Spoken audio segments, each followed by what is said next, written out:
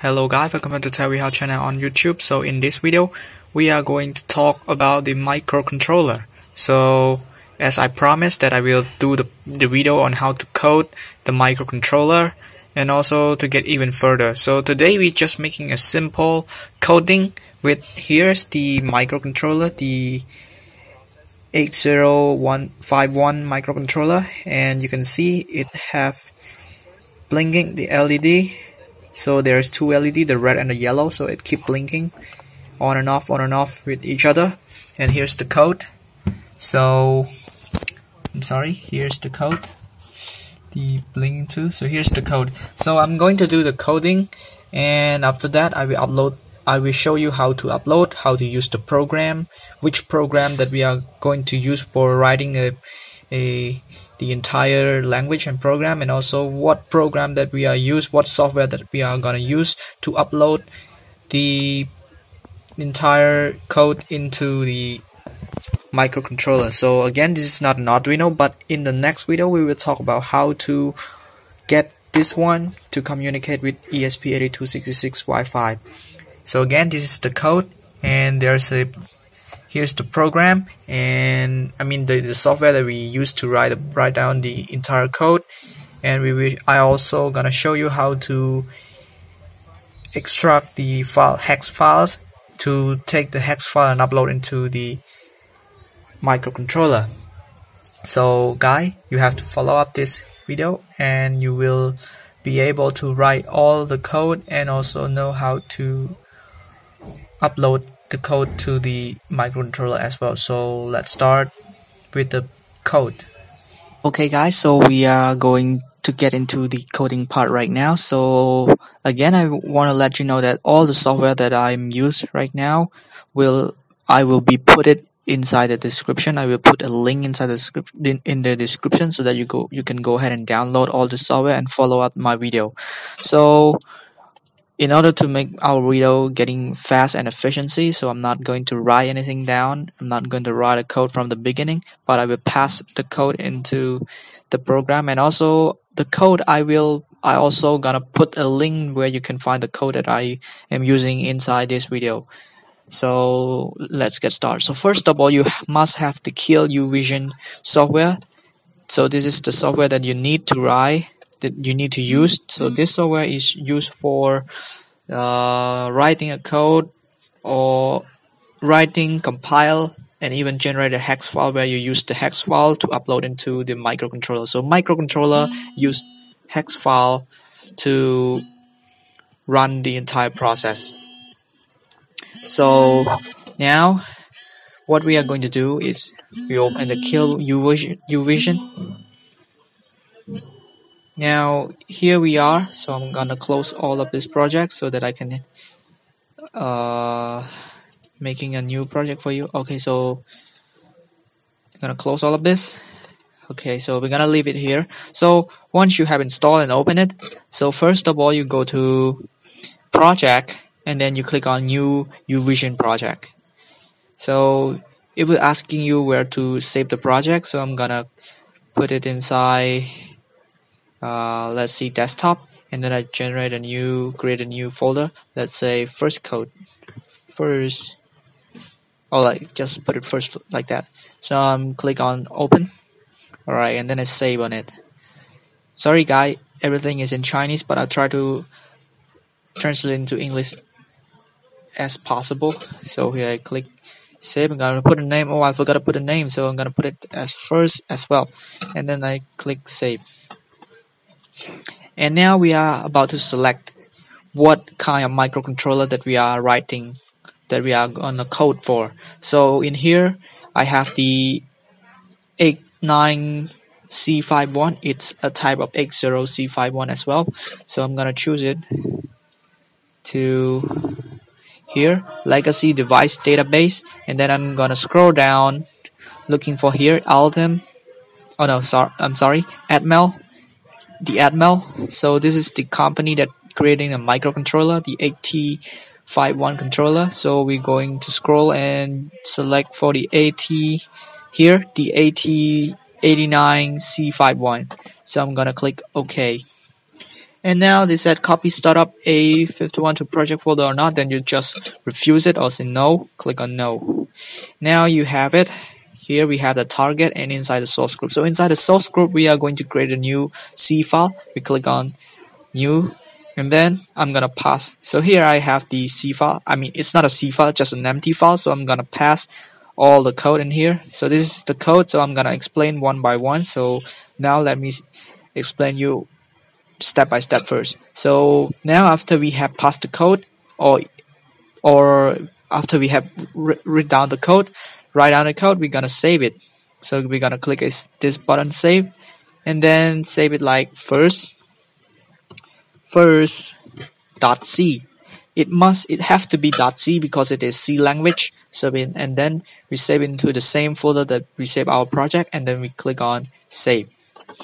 Now it's becoming a C project. So we're gonna compile it to or maybe not not yet compiled. We're gonna add this file. So we we have created this file but we haven't yet add this file into our project. So we're gonna click on this source group, right click on it and choose add existing file to group source. So we're gonna choose first .c and then we gotta click add.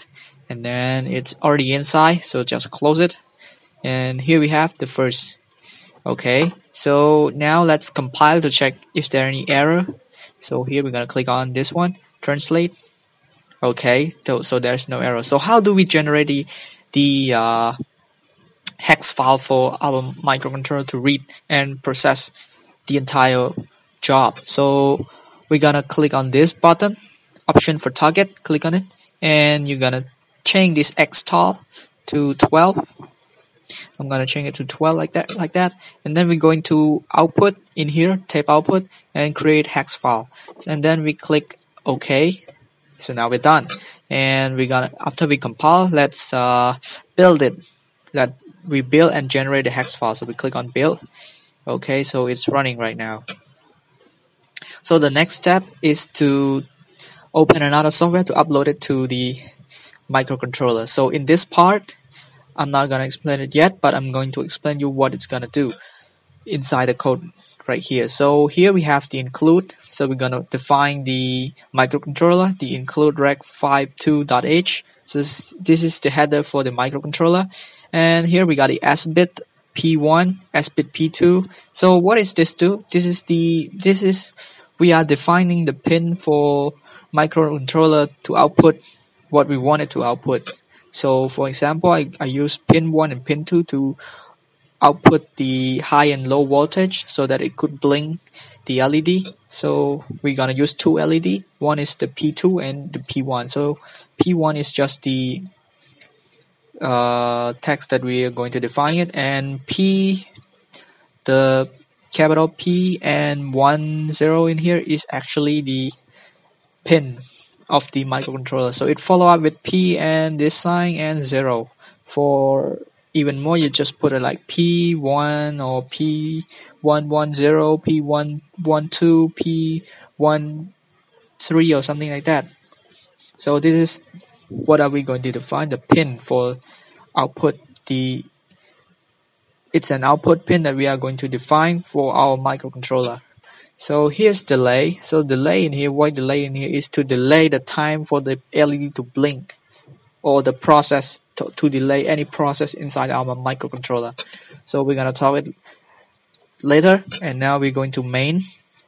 So while, okay, while one right here is mean that when our microcontroller is starting or having a power then when the power source has been provided then P1 in here the pin number one going to be one which mean in real in real life it means zero. What I mean is that there is no uh, oh I'm sorry. One in here it means there is a power on the pin. So if you connect an LED the so I mean if the LED, the, the, the, the positive pin of the LED connect to the the 5 volt voltage and the negative pin connect to the P1 and if it is 1 if it, if P1 is equal to 1 then the LED is not blink because both side of the pin are high voltage, so it's not gonna blink. And then we're gonna delay it, so it's not gonna blink for a few moments. And then we put P1 into zero, which means the the negative side the negative pin of the LED is also is connected to P1 and the P1 right now is zero so it it gonna flow from from 5 voltage to zero which mean it uh, satisfy the the rule where the, the, the electrical flow from positive to negative so that the LED is blink. And then we delay. And then we let it blink again for P2 the same process as the P1 and then we run it again and again. We delay it and run it again and again and again non-stop. And let's check for delay. So delay in here is that we define integer x and integer y and integer i and j. So this is this four integer is what we are going to define. So when x is equal to 0 and x smaller than 10, then x plus plus. And then if y is equal to 0 and y is smaller than 1000 y plus plus so it generated 1 2 3 4 5 until the max value of this two. So it gonna delay to the max value of it. So i think you i think you guys might getting with this part. I'm not i'm not at, really good at explaining this delaying point but I think you guys might might got it because if you guys have already done the Arduino stuff, you might really found this really relevant. So this is how the delay work. And of course, if x again x is equal to 0, x smaller than 10 and x plus plus, and then y equal, and then one it's uh, x equal to 1 and then it start to run for y equal to 0 and then smaller than 100 and then 1000 and then y keep keep continue to plus and it run process again and again so it generate a time a, permanent time that it could delay something. So it's just like it's just like time that we are generate to delay something like that.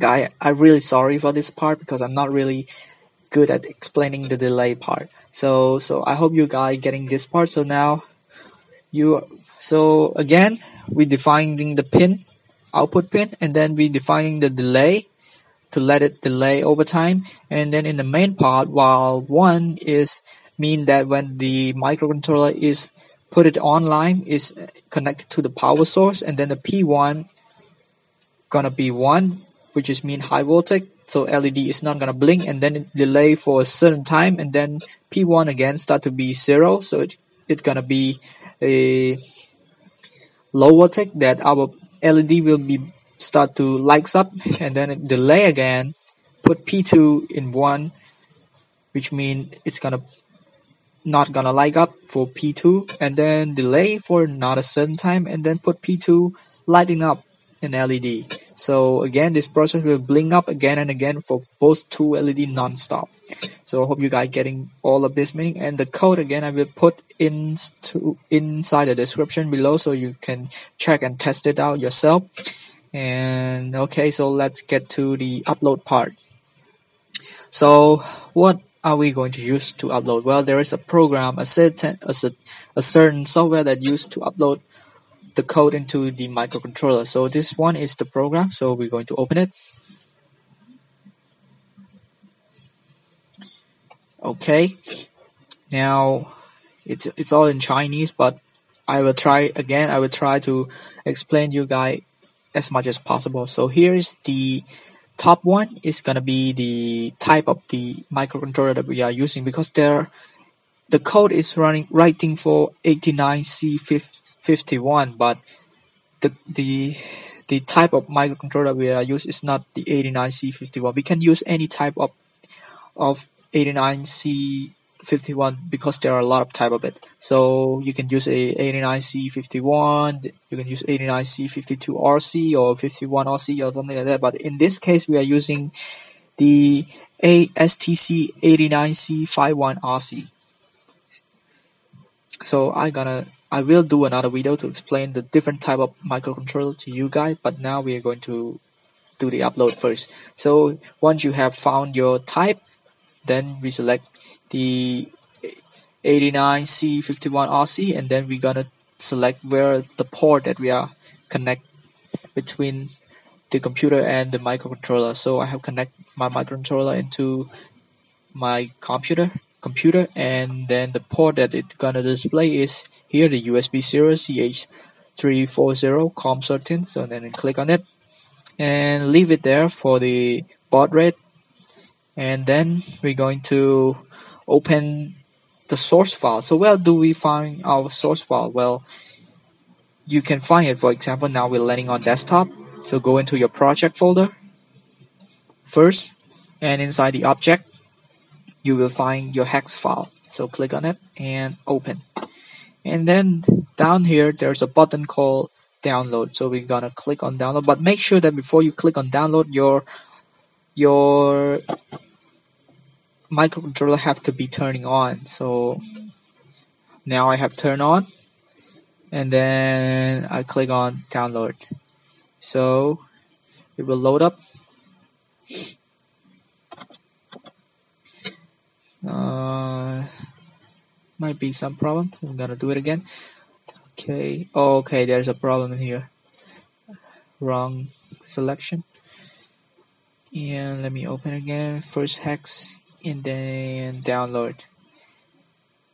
Okay so here is me that we are finishing download. So I will do another um, so we are finished uploading right now and I also continue to do the video on about hardware part. So it's just like the way I do the video for Arduino I'm gonna do the software part and then I'm gonna do the hardware part. So let's get started on the hardware part. Okay guys so here we are on hardware part. So after you have purchased this uh, development board there, there gonna be any uh, driver that come with this development board. So all you have to do now first is to plug in this board into your computer. So I have plug in and then try to install the driver if there is any driver that pop up then you have to install it on. But I'm sure it's gonna pop up and will allow you to install. So once you have installed the driver and uh, what we are going to do is that we uh, open this software the upload software that I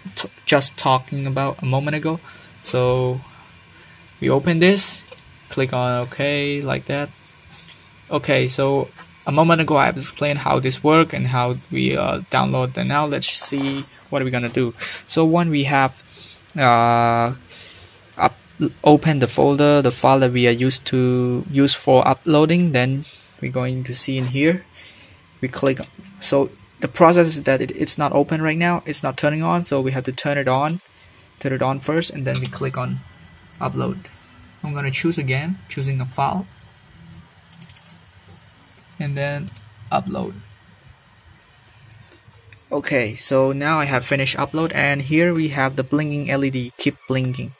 So I hope you guys will learn something about this video. And also this video is the first tutorial on microcontroller before we are getting started to how to get this one, this microcontroller to communicate with our ESP8266 offline and online using MQTT protocol. So I hope you enjoyed this video and thank you so much for watching. Don't forget to subscribe or like to get even more upcoming microcontroller and Arduino video and thank you again and bye.